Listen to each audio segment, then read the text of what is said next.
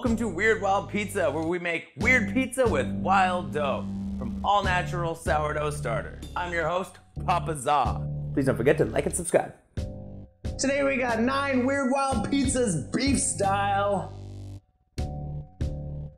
A beef and broccoli pizza.